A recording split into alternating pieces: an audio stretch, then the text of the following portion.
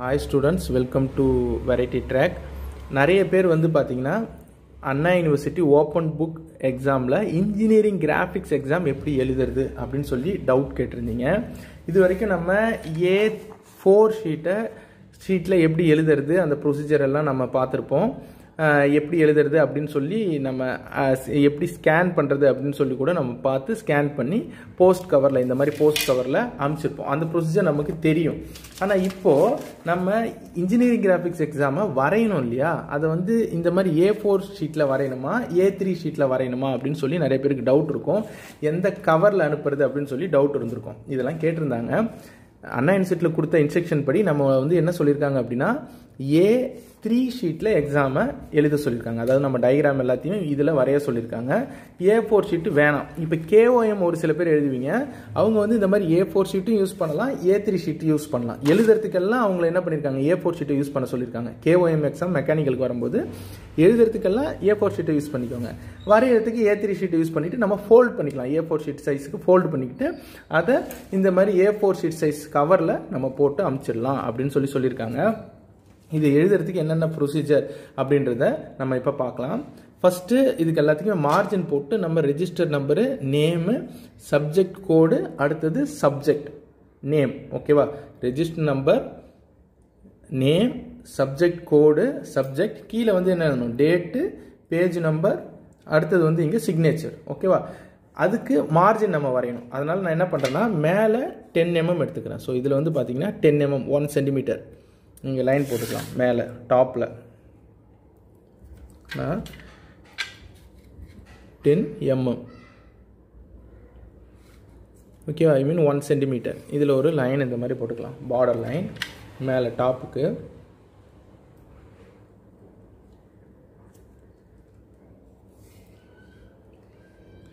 இந்த left hand சைடில் twenty mm போட்டுக்கலாம். இந்த லெஃப்ட் ஹேண்ட் சைடில் நீங்கள் என்ன பண்ணிக்கோங்க? டுவெண்ட்டி எம்எம் போட்டுக்கோங்க.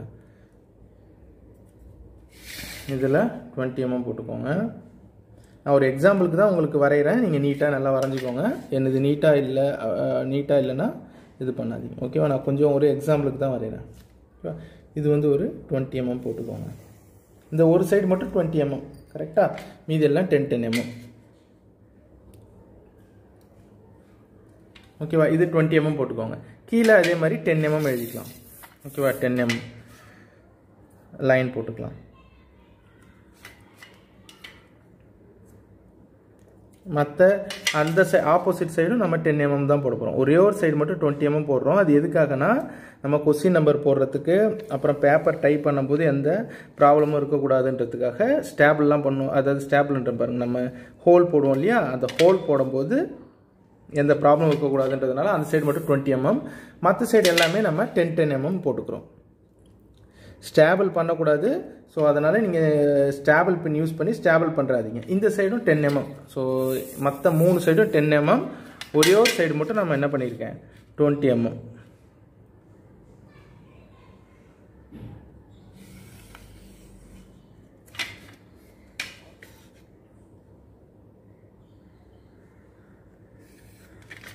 ஸோ இந்த மாதிரி நம்ம லைன் போட்டுக்கலாம்.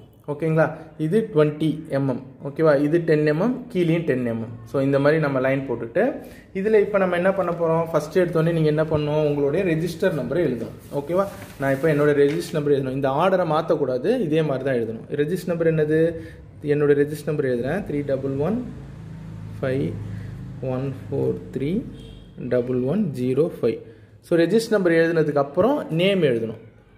கேப்ஸில் எழுதுங்க. பிளாக் லெட்டர் எழுதுனா உங்களுக்கு எல்லாருக்கும் தெரியும். ஜிஏஎன்ஏ என் அடுத்தது சப்ஜெக்ட் கோடு சப்ஜெக்ட் கோடு உங்களுக்கு கொஸ்டின் பேப்பர்லேயே இருக்கும். இல்லைன்னா நீங்கள் படிச்சிருப்பீங்க. ஸோ ஜிஇ நான் எழுதிக்கிறேன். Eight one five two so subject code அடுத்தது சப்ஜெக்ட் நேம் என்ஜினியரிங் கிராஃபிக்ஸ் அதை இங்கே எழுதிக்கலாம்.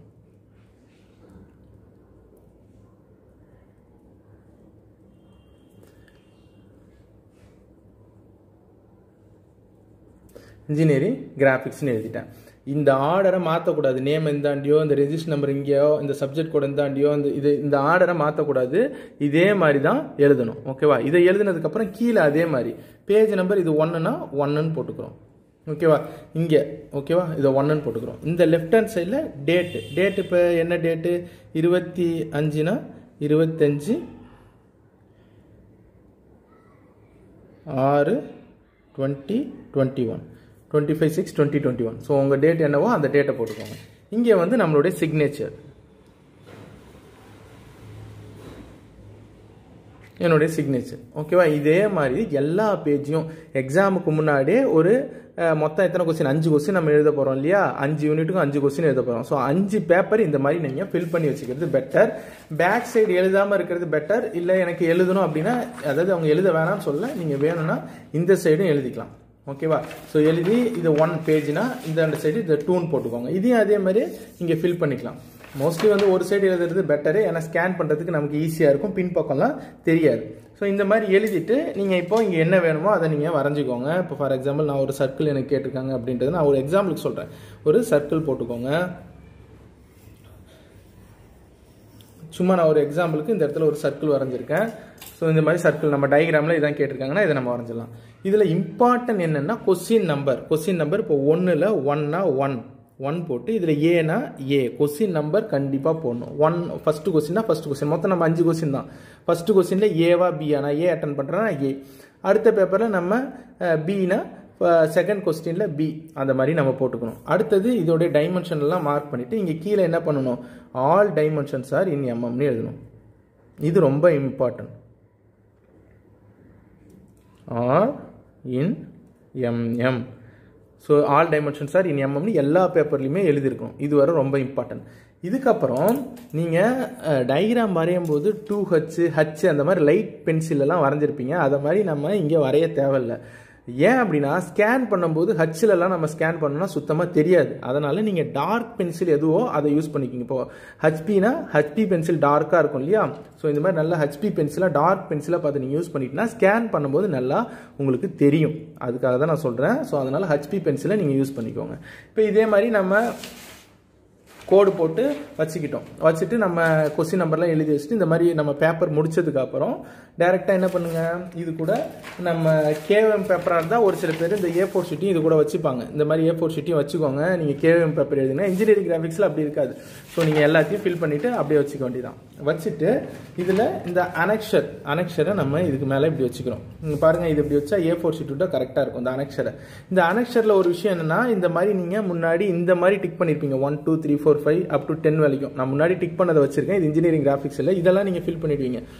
காலேஜ் கோடு உங்களுக்கு ஹால் டிக்கெட்டில் இருக்கும். காலேஜ் நேம் உங்களுக்கு இருக்கும். ரெஜிஸ்டர் நம்பர் தெரியும். Name of the candidate degree BE branch வந்து மெக்கானிக்கல்னா மெக்கானிக்கல் எந்த செமஸ்டர் உங்களுக்கு ஃபஸ்ட் செமஸ்டர்னா ஃபஸ்ட் செமஸ்டர் போடுங்க. கொஸ்டின் பேப்பர் கோடு அங்கே வந்திருக்கும். ஸோ அந்த கொஸ்டின் பேப்பர் கோடை நீங்கள் இங்கே எழுதலாம். சப்ஜெக்ட் கோடு உங்களுக்கு தெரியும். G eight one five two so அந்த மாதிரி உங்களுக்கு சப்ஜெக்ட் கோடு ஒன்று இருக்கும். அதை எழுதிருங்க. Subject name engineering graphics date semester ஃபார்ம்னா form number of pages நீங்கள் அஞ்சு பேஜஸ் எழுதினா அஞ்சு பேஜ் ஆறு பேஜ் எழுதிங்கன்னா ஆறு பேஜ் அப்புறம் சிக்னேச்சர் கீழே டேட் போட்டுருங்க இதெல்லாம் போட்டுட்டு முன்னாடி வந்து பார்த்தீங்கன்னா இதெல்லாம் டூ மார்க் கொஸ்டின் எல்லாம் நம்ம டிக் பண்ணியிருப்போம் ஆனால் ஈஜிக்கு அப்படி பண்ண தேவையில்ல. என்ன பண்ணுறீங்கன்னா லெவனுன்றத நமக்கு ஒன் ஸோ அதனால் இதை நான் அடித்து எழுதுறேன்னு சொல்லிட்டு ஒயிட்னரால் இதை ஒன்னுலாம் மாற்றிக்கிட்டு இருக்க வேணாம். அதெல்லாம் நீங்கள் எதுவுமே பண்ண வேணாம். இந்த லெவனுக்கு நேராக ஏனா ஏ பினா பி அந்த லெவன் தான் நமக்கு ஒன்றுன்னு அர்த்தம். டுவெல் தான் நமக்கு ரெண்டுன்னு அர்த்தம். அப்போ ஏனா ஏ அட்டன் பண்ணுறேன் பினா பி அட்டன் பண்ணுறேன் தேர்ட்டின் தான் நமக்கு தேர்ட் கொஸ்டின் அதில் ஏவா பியா ஃபோர்டீன் தான் நமக்கு ஃபோர்த்து கொஸ்டின் அதில் ஏவா பியா ஃபிஃப்டீன் தான் நமக்கு ஃபிஃப்த் கொஸ்டின் ஏவா பியா அவ்வளோதான் வேறு எதுவுமே நீங்கள் பார்க்க தேவையில்ல. இந்த அஞ்சு கொஸ்டினை நீங்கள் பார்த்து ஏபி மட்டும் டிக் பண்ணிங்கன்னா போதும். இது எதுவுமே இல்லைன்னு நினச்சிக்கோங்க. அதை நீங்கள் எதுவுமே ஃபில் பண்ண தேவையில்ல. அண்ட் இங்கேயும் இதையும் எதையும் நீங்கள் ஃபில் பண்ண தேவையில்ல. இந்த அஞ்சு இந்த eleven twelve thirteen fourteen fifteen அது எல்லாமே உங்களுக்கு என்னது? One AB twelve two AB three AB four AB five AB அதில் மட்டும் நீங்கள் ஏவா பியான்னு பார்த்து டிக் பண்ணிக்கோங்க. டிக் பண்ணால் அனெக்ஷர் முடிஞ்சிருச்சு. இது முடிஞ்சதுக்கப்புறம் டைரெக்டாக என்ன பண்ணுங்கள் அப்படியே இந்த அனக்ஷர் பேப்பரை வச்சுட்டு இதை அப்படியே ஃபோல்ட் பண்ணுங்கள் இப்படி ஃபோல்ட் பண்ணால் கரெக்டாக ஏ ஃபோர் ஷீட் கூட இதுவும் இப்படி ஃபோல்ட் ஆகிடும் கரெக்டாக இதை எப்படி ஃபோல்ட் பண்ணியாச்சு. பாருங்கள் இப்போ ஃபோல்ட் ஆகிடுச்சா இதே மாதிரி அஞ்சு பேப்பரையும் நீங்கள் ஃபோல்ட் பண்ணி அப்படியே பாதியாக நீங்கள் ஃபோல்ட் பண்ணிக்கலாம். இது வேறு எதுவுமே நீங்கள் பண்ண தேவையில்ல. கஷ்டப்பட்டுட்டு இருக்கணும். இது மாதிரி ஃபோல்ட் பண்ணிவிட்டு அப்படியே இதை இப்படி மூடிங்க மூடிட்டு இப்போது இதில் என்ன பண்ணணும் அப்படின்னா இப்போ இந்த மாதிரி ஃபோல்ட் பண்ணிட்டேன்னா இதில் தான் நம்ம த்ரெட்டு வச்சு கட்டணும் இப்போது ஓகேவா ஸோ இதில் ஒரு ஸ்டாபிள் போட்டுக்கோங்க. இந்த ரெஜிஸ்டர் நம்பரை எதுவும் பண்ணக்கூடாது. இந்த இடத்துல ரெஜிஸ்டர் நம்பர் இருக்குல்லையே அதில் ஹோல் போடக்கூடாது. இப்போ இதை ஹோல் போட்டுக்கோங்க. ஆனால் ஹோல் போடுறதுக்கு முன்னாடி நீங்கள் ஸ்கேன் பண்ணுறது ரொம்ப நல்லது. அதனால் நான் இப்போ உங்களுக்கு ஸ்கேன் பண்ணுறது எப்படின்னு சொல்லிவிட்டு அதுக்கப்புறம் நான் இதை ஃபோல்டு அதாவது ஃபோல்ட் பண்ணி கவரில் எப்படி போடுறதுன்றது காமிக்கிறேன். இதை மடித்து மட்டும் நீங்கள் இப்போ வச்சுக்கோங்க. அதுக்கப்புறம் நாங்கள் எப்படி ஃபோல்ட் பண்ணுறது அப்படின்றத நான் காமிக்கிறேன். வந்து நம்ம ஸ்கேன் எப்படி பண்ணலாம்? அது என்ன எந்த ஸ்கேனர் நல்ல ஸ்கேனர் அப்படின்றத நான் சொல்கிறேன் நான் ஏற்கனவே அடாப் ஸ்கேனர் யூஸ் பண்ணிகிட்டு இருந்தேன். பட் அதில் கொஞ்சம் ப்ராப்ளம் வந்ததுனால இப்போ இப்போ டாக்குமெண்ட் ஸ்கேனர் நான் யூஸ் பண்ணுறேன் டாக்குமெண்ட் ஸ்கேனர் ரொம்ப நல்லாவே இருக்குது நமக்கு டுவெண்ட்டி ஃபைவ் பேஜஸ்க்கு மேலே நிறைய பேஜஸ் நம்ம ஸ்கேன் பண்ண முடியும். நீங்கள் டே டாக்குமெண்ட் ஸ்கேனர் போய் கூகுள்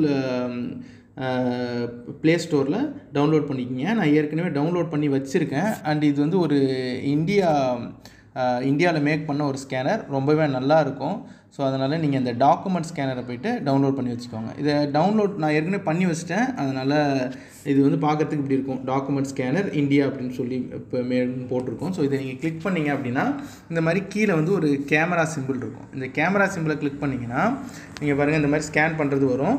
ஒரு ஒரு பேஜாக ஸ்கேன் பண்ணுங்கள் ஃபஸ்ட்டு எடுத்தோடனே அனெக்சர் பேஜை ஸ்கேன் பண்ணலாம்.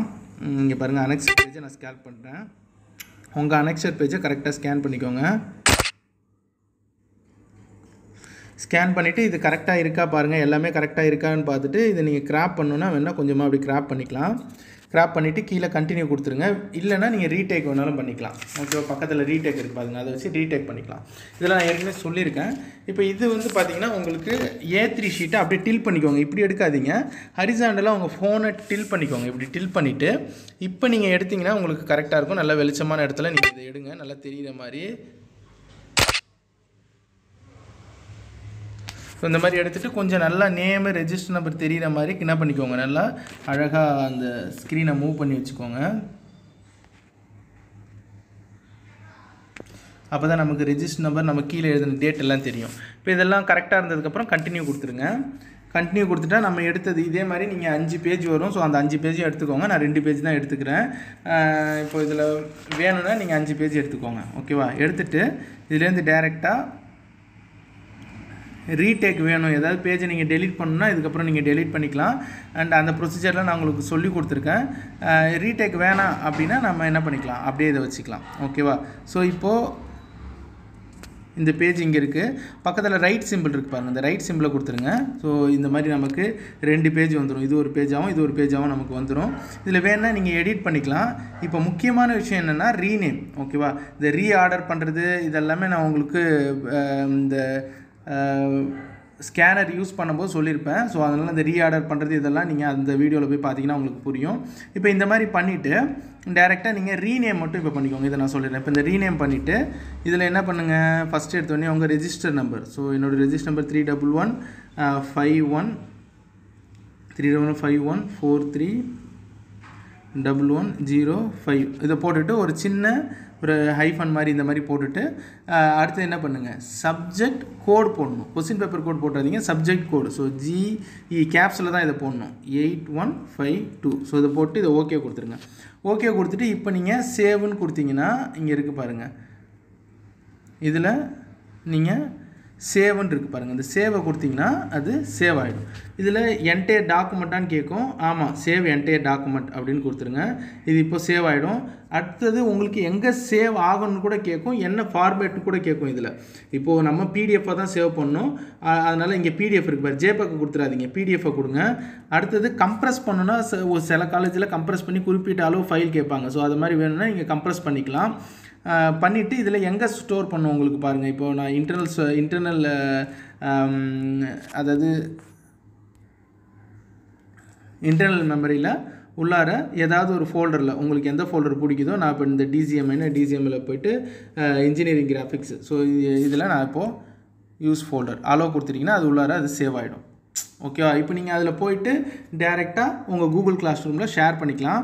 அப்படி இல்லைன்னா நீங்கள் இதிலேருந்து கூட அப்படியே கூட இங்கேருந்து ஷேர் கொடுத்துக்கலாம். ஸோ பிடிஎஃபாக ஷேர்னு கொடுத்தீங்கன்னா இது ஷேர் ஆகிடும் ஓகேவா? இதில் பாருங்கள் இது இப்படி இது இப்படி கொஞ்சம் ஹரிசாண்டாக டில்ட்டான மாதிரி தான் இருக்கும். பட் உங்கள் register number name subject code subject என்ன subject date page number signature இதெல்லாம் கரெக்டாக தெரியுதா? பார்த்துட்டு நீங்கள் இதை உங்கள் கூ அதாவது கூகுள் கிளாஸ் ரூமில் சப்மிட் பண்ணிடலாம். கூகுள் கிளாஸ் ரூமில் எப்படி போடுறது நான் உங்களுக்கு ஏற்கனவே வீடியோ போட்டிருக்கேன். அதை பார்த்தீங்கன்னா உங்களுக்கு புரியும். ஸோ இப்போ இதை நம்ம எப்படி ஃபோல்ட் பண்ணி உள்ளார கவரில் போடலாம் அப்படின்றத நம்ம பார்க்கலாம். நெக்ஸ்ட்டாக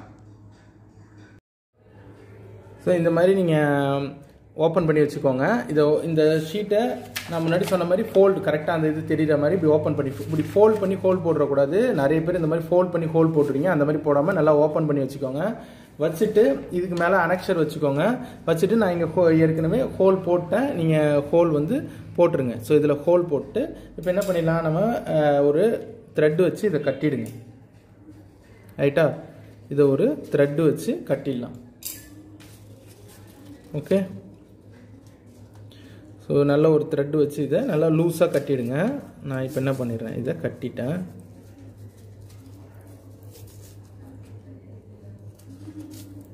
ஓகேவா இந்த மாதிரி நம்ம கட்டிடுறோம்.